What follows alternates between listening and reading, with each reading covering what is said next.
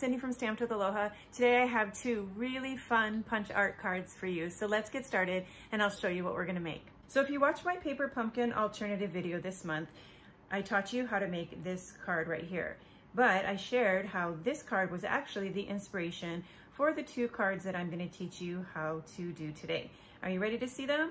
Okay, here we go. Ta-da! Meet Lynsay and Sarah. So let's get started and I'm gonna show you how to make these two cute cards. Okay, for both of the cards, we need the same card base. This is Whisper White, four and a quarter by 11, folded in half. The next two pieces are gonna be a little bit different. For my Lynsay card, I'm gonna be using a three and a quarter by four of Whisper White. And for my Sarah card, I'm going to be using a four by five and a quarter piece of Whisper White. Both of these have been embossed with the Winter Snow embossing folder. Now I'm going to take this piece here, the three and a quarter by four, and I'm going to add some adhesive. And I'm going to mount this onto shaded spruce that's three and a half inches by four and a quarter inches. Now I'm gonna need this exact same dimension for my Sarah card. So I'm gonna go ahead and glue these two pieces together. However, on the Sarah card, this white piece here is not going to be embossed because I've embossed the background.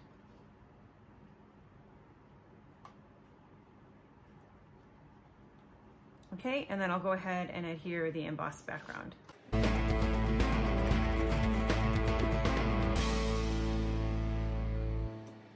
All right, for the next step, I'm gonna go ahead and adhere these onto the front of the card.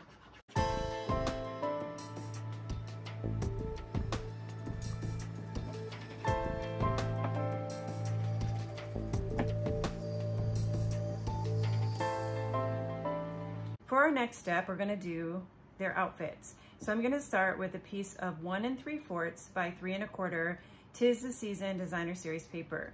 Now for Lynsay's card, I wanted it to look like an ugly Christmas sweater. So I'm going to round the top two corners on both of these pieces, but I'm gonna make sure that the candy canes are facing in the right direction when I do the corner rounding.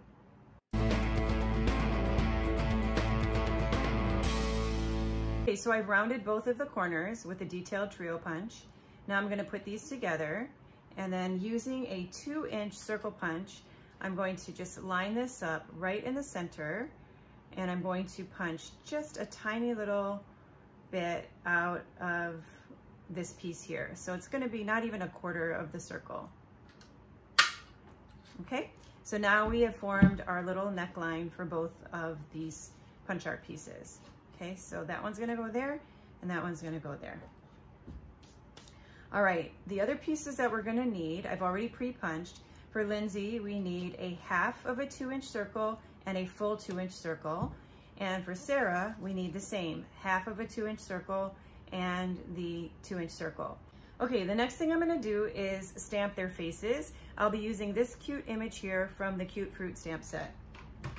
So I'm going to move this up a little bit. So I'm going to ink up the face and then I'm going to stamp Lynsay's face right there. And then I'll move this one up and I'm going to stamp Sarah's face right there. Okay, and then I'm going to change the faces a tiny little bit by using a black pen and I'm going to draw in a wider smile. So I'm just going to draw it in like that on both of the faces. And then I'm gonna color them in.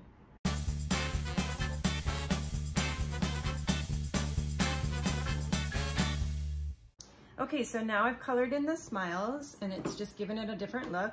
And then I'm going to be adding rosy cheeks with the Flirty Flamingo. I'm gonna be using light Flirty Flamingo on Lynsay's face.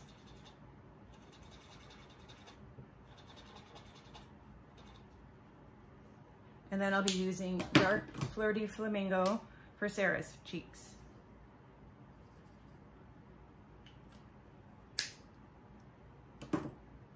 Okay, the next thing that we're going to do is adhere these pieces down. So I'm gonna start with the sweater and then I'm only gonna put adhesive along the bottom and on the sides and I'm going to put a little bit here at the top and I'm gonna leave the neckline open and I'll do the same for both of these.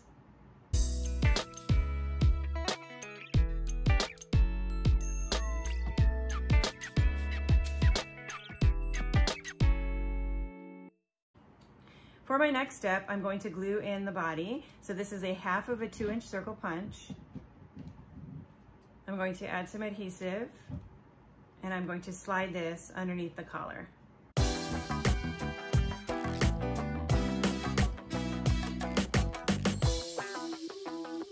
Okay, next for the base of the hair, we're going to be using a two and a quarter circle punch.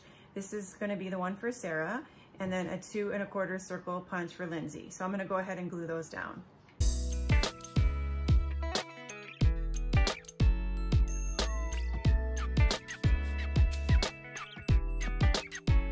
Okay, now on Sarah's hair, I'm gonna be using a new punch.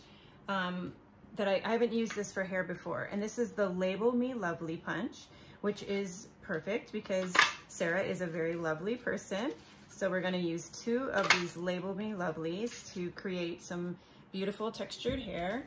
And so the hair is going to kind of go off to the side like that and to the side like that. So you just need to make sure that the hair doesn't extend over the edge of the cardstock. So I wanna just kind of push it up there and you can always take your the face and you can kind of line it up there to get the positioning, but that looks about right. So let me go ahead and tack these down.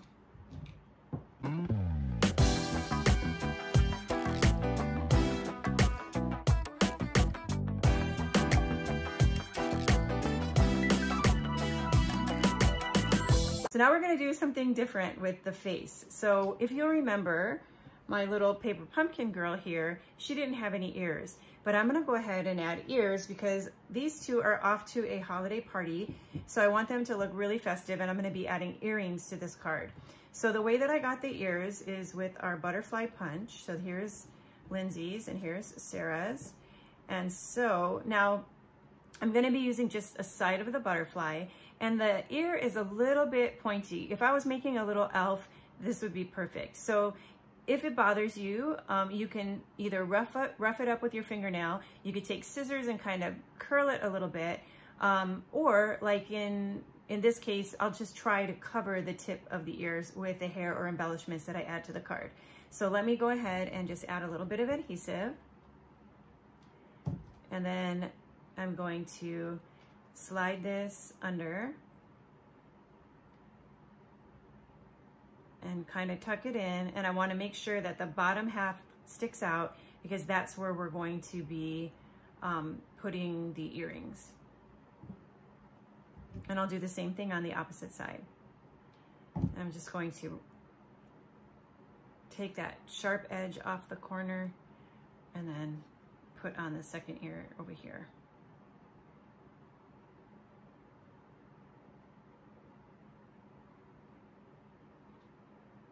Okay, now let me get Lynsay's ears on.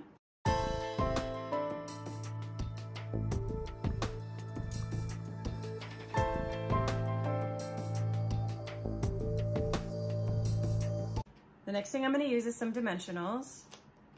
So I'm going to pop a couple of dimensionals on the back and I'll put those dimensionals over the butterfly um, punch so that'll help to secure them on there. And so we're going to just have Sarah, Sarah's face right here. And then Lynsay's face right here.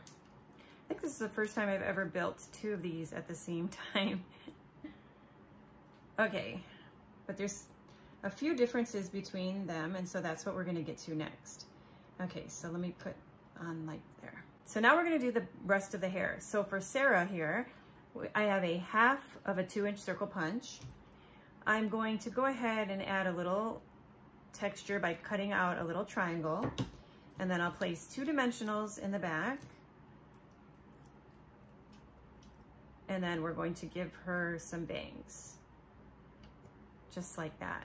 All right, and then for Lynsay, now if you know Lynsay, she has some really cool, fashionable um, hair. She has this cute little pixie cut. And so I'm going to make her hair with the tailored tag punch. So I'm actually gonna show you how I punched it. So I went ahead and I put the punch in there just as if I was gonna punch it whole, but instead, then I'm going to bring it down until I get that sharp corner right there. So I'm gonna have this shape and then I'm gonna punch that out. So that is gonna be her bangs. Look at that, looks perfect. and then I'm going to take and just take the a little top of the tailor tag punch, just that top part right there. And that is going to be the side of her hair. That fell so nicely. You would think that I was a hairdresser or something, wouldn't you? But I'm totally not. Okay, so I'm gonna go ahead and trim that a little bit. And so now I have this piece here. Let me line this up here and see how this is gonna look. So I want that really cute, sharp edge right there on the side of her face. And then I wanna have the hair coming over like that. So I think that looks pretty good. So let me stick this down.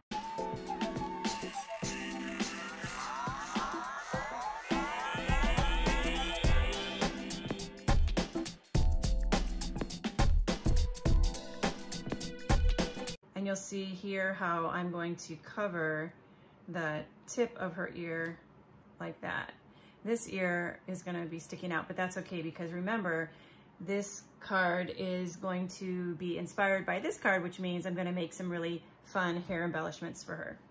Okay, so now the next step is going to be to add our earrings. So for Lynsay, she's going to be having um, some diamond earrings. And for Sarah, I'm going to use the Gilded Gems to give her some gold earrings. So now we're gonna work on their hair embellishment. So we're gonna do some stamping for that. So I have a piece of Whisper White cardstock and I'm going to be using some of the images from the Peace and Joy stamp set. I'll be using this stamp here, the holly and the berries, and then this little um, branch there. All right, so here's the colors I'm going to use. I'm gonna start with the Granny Apple Green, and I'll be using this stamp here. And I'm going to stamp two of this.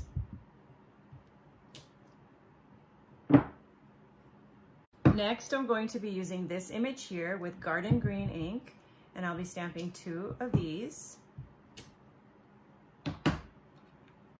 Then I have Shaded Spruce ink, and I'll be stamping two like this, and then I'll stamp one more. So it'll be three of the hollies with shaded spruce. And then the final stamp I'm going to use is the little berries. And I'm only gonna put berries on these two here, and I'm not gonna put it there. All right, also, since we're doing our stamping, I'm going to be using the Peace and Joy stamp set because if you'll remember, this card said sending joy. So with this stamp set, I'm gonna be able to say the exact same sentiment. I'm gonna use the the um, dies to, to create the word joy, which I've already done here. Then I'm gonna be stamping sending using my Memento black ink. And I'll stamp that on this scrap paper as well. So all of my stamping is done. I'm gonna then fussy cut this, but I know you don't wanna watch me do that, so I have it all done and I have all my little pieces here. I'm using the word joy for this card and the way that I adhered this is by taking my take your pick tool and I just pick it up. So I'm just going to just lightly dab some liquid glue on the back of that. And then using my take your pick tool, I'll just flip this around and I will adhere that to that other piece. So that's on there. Let me let that dry for a minute and now I'll go ahead and add the flowers to their hair. All right, so I'm gonna snip off the end of this. I'm gonna use a little bit of liquid glue and I'm going to slide this underneath her hair so that it comes out on the side like that. And I'll do the same thing for both of the girls.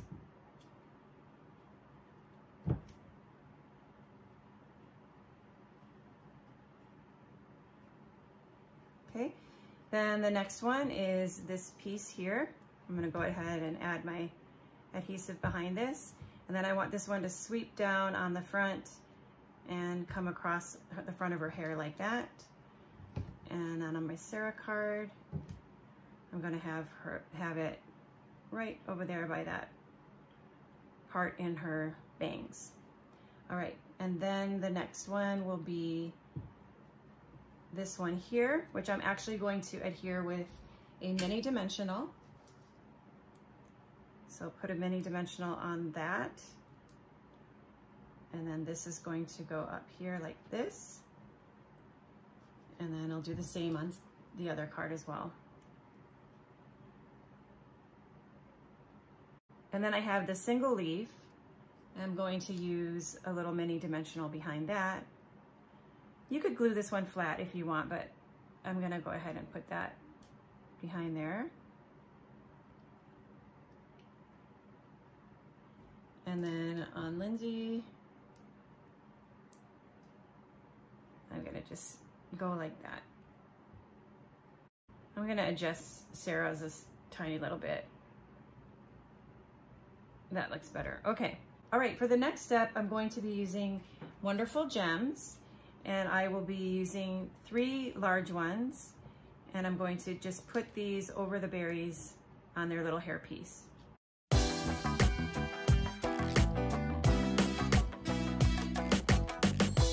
Okay, and then for the words here, we're gonna apply this with some mini dimensionals.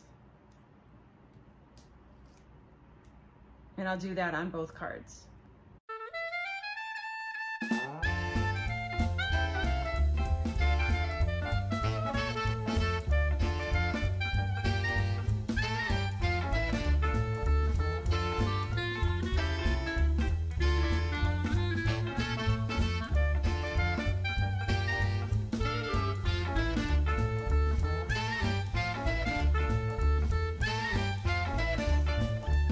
So we have our word joy on both cards. Now I'm placing dimensionals behind the little word sending that I stamped and cut out, and I'll be placing that on both cards next to the word joy.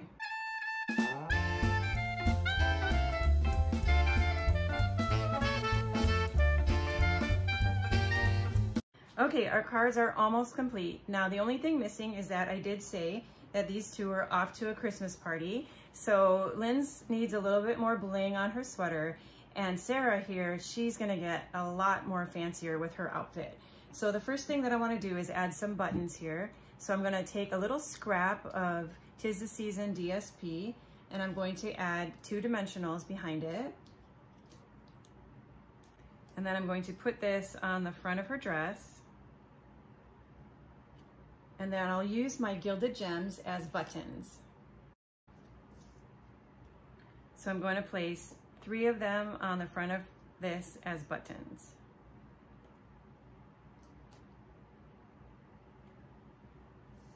Okay, the last thing that I did was take some of the wonderful gems and some red rhinestones and on Sarah, I just really embellished her little dress or sweater with all kinds of red rhinestones. So as you can see, I used wonderful gems in the holly in her hair. I used the gilded gems, the larger size for earrings, and then the smaller ones for buttons on the front of her outfit. And then I just added tons of red rhinestones in clusters and singles to cover her sweater. So that's her. For Lynsay here, I just really focused on this line of candy canes here. And I went ahead and just added um, the Wonderful Gems, the smaller one, down here at the center of the candy canes. Then I added some rhinestones, and with these, I colored them in with the dark shaded spruce Stampin' Blends marker. And now she is already in her cute little holiday sweater. So there you go, my two cards are complete. So I'm gonna be sending these special ladies these cards that I created with them in mind. And I wanna say a special thanks to all of you for taking the time to watch this video today. I hope that you will come back and stamp with me again soon. Until then, aloha.